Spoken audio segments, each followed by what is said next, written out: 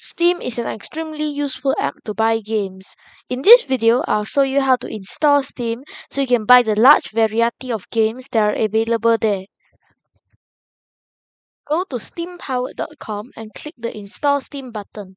Click the button again and open the Steam Setup folder. After opening the folder, a setup window will open. Choose your language and the folder you want Steam to be and you're done. Type in your ideal username and password and you can start playing your favorite games on Steam.